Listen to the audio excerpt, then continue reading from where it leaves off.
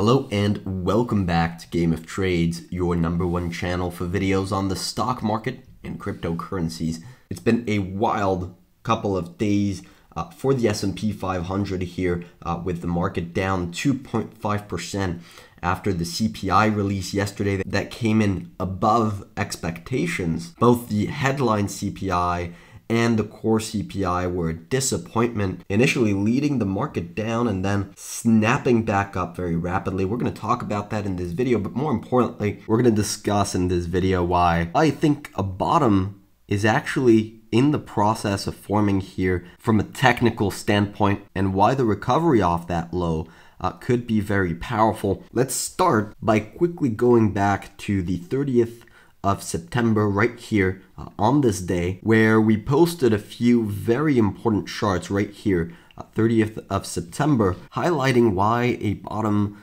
was very likely close and why the 30th of September was actually probably a very attractive buying opportunity if you have an investment horizon of around 6 to 12 months. You can see the oversold reading we got uh, on that Friday. This was leading into the 200 week moving average right here uh, that we're currently right above as we speak right now the S&P 500 is trading above this 200 week moving average and with a bullish RSI setup here. You can see price making a lower low as we test the 200 week moving average and the RSI making a higher low. Same setup as 2000 and 15, same setup as 2011. You also had this type of divergence leading up to the 2009 bottom right here. Uh, and then as a caveat, you have divergence right here leading to this low that occurred in 2008 right before around a 4 or 5 month rally on the S&P 500 right before the major crash uh, on the S&P. So yes, this of course wasn't an ideal buying opportunity looking out uh, 6 months, uh, but in the near term, it did trigger a nice reversal in the market. So those were really the first few pieces of evidence that we were potentially coming towards a low. When I see this chart, uh, I, I just think, wow, you know, this is the type of setup that you look back on and think, why in the world was I not buying here? How did I not see that setup? And of course, you get caught up in the macro, you get caught up in the bad news, the media that, that's very pessimistic on stocks. But if this is your first market correction, let me be very clear. I've never seen the media time a market bottom. I've never seen a consensus time a market bottom. So you are going to be going against the herd if you're trying to look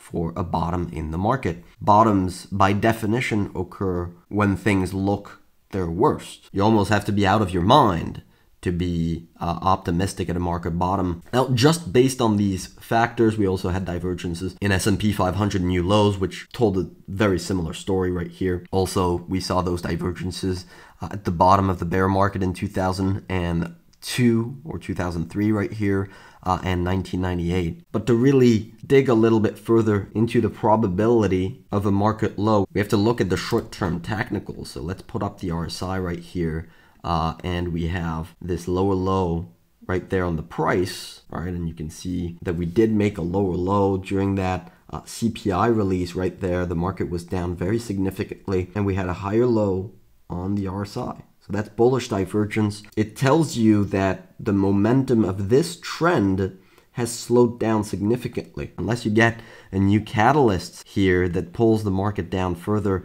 it's hard to imagine why you'd get a big waterfall sell-off. Now, of course, you know, this is just our opinion. Uh, it's just our view on the market. And when it comes to the short-term price action, I don't, I don't have a crystal ball. I'm just here to give you my opinion based on uh, the things I've learned in the market in the past. It's an honest, genuine opinion. But of course, you have to do your own research. Now, the last piece of evidence uh, that I want to discuss that's very interesting, and all of these developments have happened uh, just very recently. You know, very rapidly, you have this a bullish divergence setup, you have an oversold reading, you have the 200 week moving average being tested, and you have this bounce here that occurred off that Friday low. That was one of the most powerful two day bounces we've seen since COVID, right? And you can see how beautiful of a timing indicator that was in 2020 right there.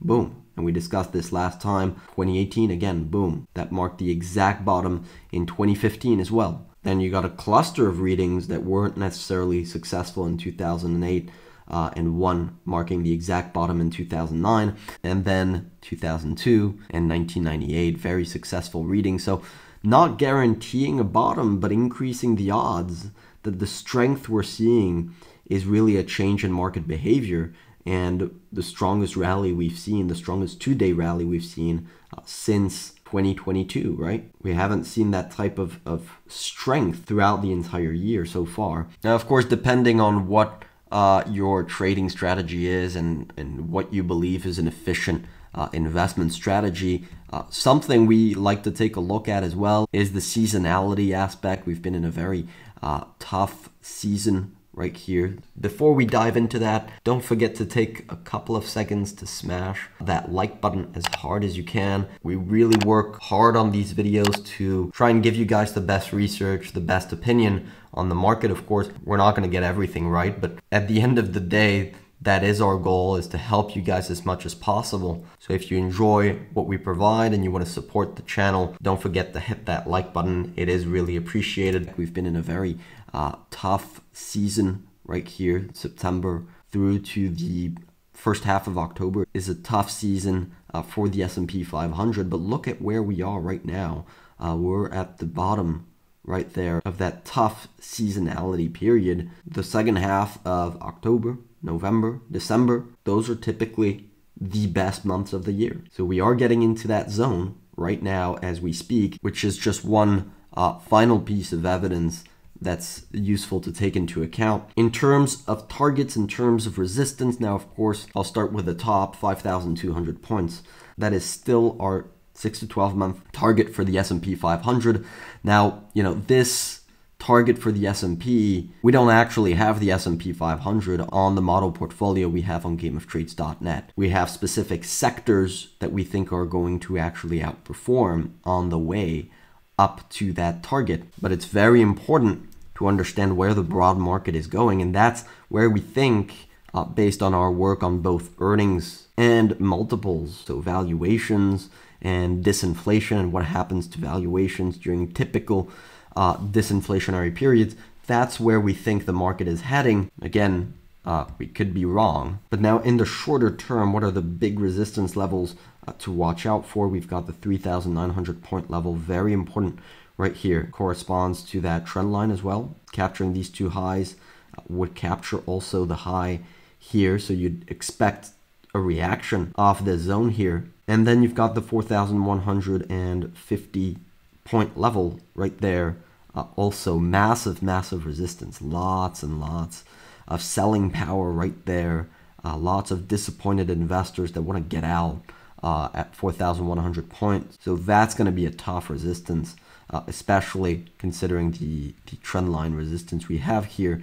So that's really where all the work needs to be done uh, for the S&P. Once those two levels are cleared, those two trend lines, those two big horizontal levels, once those are cleared, the odds of seeing the this target getting hit in relatively short order increases significantly. Right now, you know, it's hard to make the case that we're going to see a move straight up. Uh, you know, could it happen? You need a lot of uh, improvement on the macro aspect of things. We do expect those improvements to come, but how quickly they come, that's another question. So uh, that's this is the battle zone here, and so we'll be watching how the market reacts uh, at those different levels. And once we do break that macro trend line, two big targets right now, 4,550 points. Uh, to the 4,650 points and then ultimately 5,200 points, which is around uh, from current levels as I'm making this video, it's around a 42% move from current levels. Of course, we're not going to go there in a straight line. And of course, as we get closer to that target, if we get closer to that target, uh, we'll be taking profits off the table. We'll be changing the allocation of the model portfolio. We'll be increasing our hedges to protect ourselves against the next economic environment that we think is coming in the second half of 2023. But of course, what do I know? That's just my opinion. Leave a comment down below to tell us what you think. Uh, now, in the meantime, I wish you good luck on your trading and see you next time.